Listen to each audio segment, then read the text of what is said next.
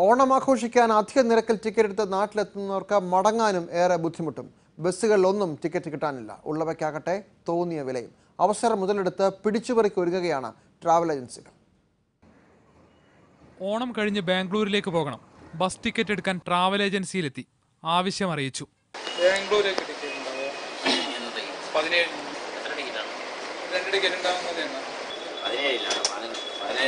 എന്നാൽ കൂടുതൽ പണം നൽകിയാൽ സീറ്റുണ്ടാകുമോ എന്ന് ചോദിച്ചപ്പോൾ ഏജന്റ് അയഞ്ഞു. ആയിരത്തി ഒരുന്നൂറാണ്. ആയിരത്തി എഴുന്നൂറ്റമ്പത് കിട്ടി. ആയിരത്തി എഴുന്നൂറ്റമ്പത് ആയിരത്തി എഴുന്നൂറ്റി തൊണ്ണൂറ്റേഴ് പല ഓണം എത്തിയതോടെ എങ്ങും ബസ് ടിക്കറ്റ് കിട്ടാനേയില്ല. തിരുവനന്തപുരം ബംഗളൂരു യാത്രയ്ക്കുള്ള സാധാരണ ദിവസങ്ങളിലെ നിരക്ക് ആയിരത്തി ഒരുന്നൂറ് രൂപ. ഓണം എടുത്തതോടെ ടിക്കറ്റിന് തോന്നിയ നിരക്ക്. മൂവായിരം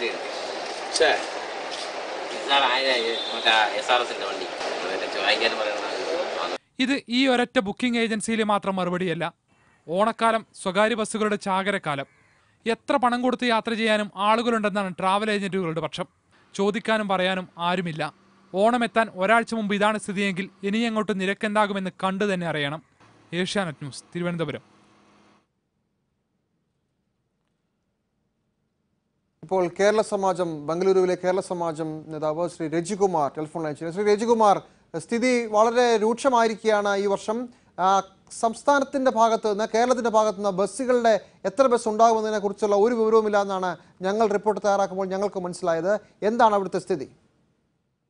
ജിമ്മി ബാംഗ്ലൂർ മലയാളികളെ എന്നും കേന്ദ്ര കേരള സർക്കാരുകൾ പരിഗണിക്കാത്ത ഒരവസ്ഥയാണ് നമുക്ക് കാണാൻ സാധിക്കുന്നത്. പറയണ്ടേ? ഹലോ? പറ- പറയൂ.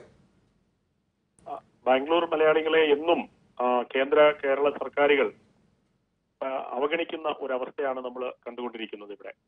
കാരണം ഓണം ക്രിസ്മസ് അതുപോലെയുള്ള സീസണുകളിൽ ബാംഗ്ലൂരിലെ മലയാളികൾക്ക് പ്രായമായ മാതാപിതാക്കളെ കാണാനുള്ള അവകാശം പോലും നിഷേധിക്കുന്ന രീതിയിലുള്ള ഒരു സമീപനമാണ് സർക്കാരുകളുടെ ഭാഗത്തു നിന്നുണ്ടായിക്കൊണ്ടിരിക്കുന്നത്. കാരണം ഇന്ന് തിരുവനന്തപുരത്തേക്ക് ഇന്നാണ് ആദ്യമായിട്ട് രണ്ടാമതൊരു ട്രെയിൻ മുപ്പത് വർഷങ്ങൾക്ക് ശേഷം ഓടുന്നത്. സാധാരണക്കാരന് യാത്ര ചെയ്യാൻ പറ്റുന്നത് ട്രെയിൻ യാത്രയാണ്. കാരണം ഏറ്റവും തുച്ഛമായ ചെലവിൽ സാധാരണ ജോലി ചെയ്യുന്ന ഐ ടി എംപ്ലോയികൾ അല്ലാത്ത ആൾക്കാർ വലിയ സാലറി കിട്ടാത്ത ആൾക്കാർക്ക് തിരുവനന്തപുരത്ത് എത്തണമെന്നുണ്ടെങ്കിൽ വെറും അഞ്ഞൂറ് രൂപയുണ്ടെങ്കിൽ അഞ്ഞൂറ് രൂപയിൽ താഴെ മതി തിരുവനന്തപുരത്തേക്ക് ട്രെയിൻ യാത്ര ചെയ്യണമെങ്കിൽ. അതേസമയത്ത് ബസ് യാത്ര ചെയ്യണമെങ്കിൽ നിങ്ങൾ സൂചിപ്പിച്ചതുപോലെ ആയിരത്തി ഒരുന്നൂറ്റി അൻപത് രൂപയാണ് K S R T C ബസിന്റെ ചാർജെങ്കിൽ. പ്രൈവറ്റ് ബസ്സുകൾ രണ്ടായിരവും പണവുമാണ് ഈടാക്കിക്കൊണ്ടിരിക്കുന്നത് ഇതിന് യാതൊരു നിയന്ത്രണവും ഏർപ്പെടുത്തുവാൻ ഗവൺമെന്റോ അതുപോലെയുള്ള അധികാരികളോ ഒന്നും തന്നെ തയ്യാറായിട്ടില്ല.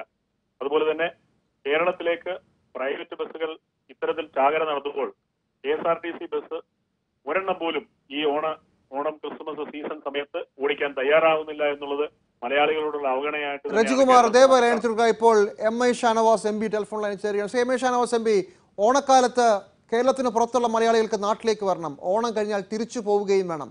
K S R T C പ്രത്യേക സർവീസുകളൊന്നും ഞങ്ങൾക്ക് ലഭ്യമായ വിവരം വെച്ച് ഇതുവരെ പുതിയ ബസ്സുകൾ പുതിയ സർവീസുകളൊന്നും ആരംഭിച്ചിട്ടില്ല.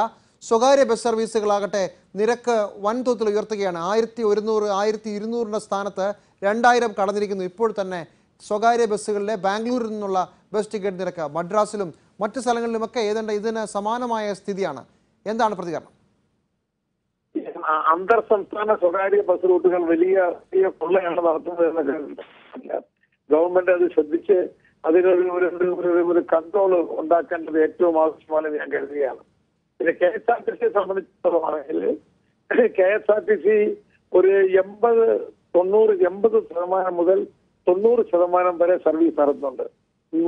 നൂറ് ശതമാനം ഒരു കാലഘട്ടത്തിലുമായിട്ടില്ല K S R T C വലിയ വലിയ മോശമല്ലാത്ത രീതിയിലാണ് കെ എസ് ആർ ടി സിയുടെ സർവീസ് നടത്തുന്നത്.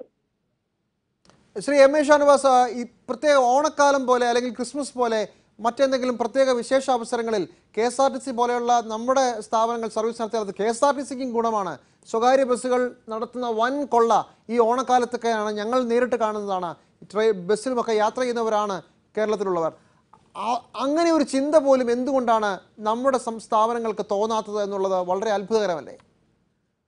സത്യം പറഞ്ഞാൽ ഈ സ്വകാര്യ ബസ് സർവീസുകളുമായി കടപിടിക്കത്തക്ക രീതിയിലുള്ള ബസ് സർവീസുകൾ നമ്മൾ കൊണ്ടുവരേണ്ടതാണ്. ഇതിനകത്തുള്ള കർണാടക സ്റ്റേറ്റ് ട്രാൻസ്പോർട്ട് കോർപ്പറേഷനെ സംബന്ധിച്ചിടത്തോളം അവർക്ക് സ്വകാര്യ ബസ് അവർ പിന്നെ മത്സരിച്ച് വിജയിക്കത്തക്ക രീതിയിലുള്ള നല്ല ബസ്സുകളും സംവിധാനങ്ങളുമുണ്ട് നമുക്ക് അതുപോലത്തെ ബസ് സംവിധാനങ്ങളുമില്ല വോൾവോ ബസ് ആണെങ്കിൽ ആകെ ഒരു ഒരു സർവീസ് മാത്രമേ നടത്തുന്നുള്ളൂ. അപ്പൊ അതുകൊണ്ട് തന്നെ വളരെ ഗൗരവത്തോ വളരെ ഗൗരവത്തോടു കൂടി ഈ വിഷയം ഗവൺമെന്റ് കൈകാര്യം ചെയ്യുകയും സ്വകാര്യ ബസ്സുകളുടെ തീവട്ടിക്കൊള്ള അവസാനിപ്പിക്കുന്നതിന് വേണ്ടിയുള്ള നടപടികൾ എടുക്കുകയും നമ്മുടെ നമ്മുടെ സർവീസിന്റെ ക്വാളിറ്റി ക്വാളിറ്റി ആൻഡ് സ്പീഡും അതിന്റെ ടെസ്റ്റിംഗും എല്ലാം ഒന്ന് ഇമ്പ്രൂവ് ചെയ്ത് കഴിഞ്ഞാൽ കെ എസ് ആർ ടി സിക്ക് കൂടുതൽ ചെയ്യുവാൻ സാധിക്കും.